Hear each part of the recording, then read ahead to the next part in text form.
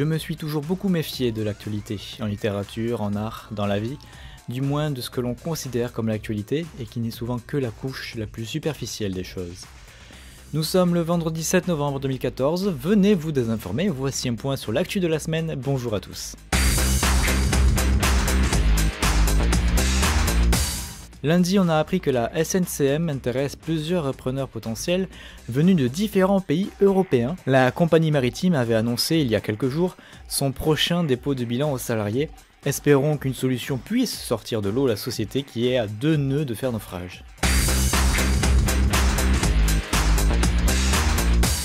Mardi, une nouvelle d'outre-Atlantique, l'Electronic Frontier Foundation a fait une démarche légale pour amender le Digital Millennium Copyright Act, un texte qui encadre le droit d'auteur sur Internet.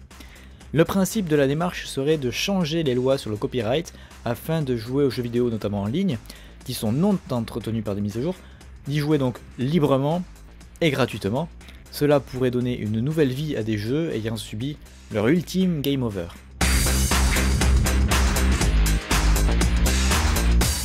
Depuis la rentrée scolaire, l'université Robert Morris en Illinois, aux États-Unis, a instauré un nouveau système de bourse pour ses étudiants, bourse à hauteur de 19 000 dollars. Cette université a donc décidé d'inclure le jeu vidéo dans son programme sportif en le considérant comme un e-sport. Les meilleurs étudiants gamers pourront prétendre à cette bourse s'ils deviennent des légendes dans leur ligue, en jouant notamment à League of Legends.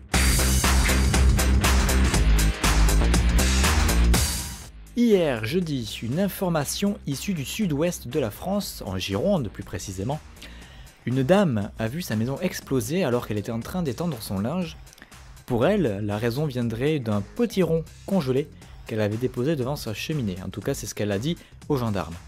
De quoi avoir six fois la trouille. Aujourd'hui, dégustation insolite à la rédaction du journal du Geek, avec le bagel unique de Charal, à l'occasion de la sortie prochaine du dernier volet de la trilogie du Hobbit. Du pain aux graines de pavot, une sauce bourguignonne, de l'emmental, des oignons et du bœuf, de quoi se restaurer rapidement avant d'affronter l'armée du patron, euh, de Sauron.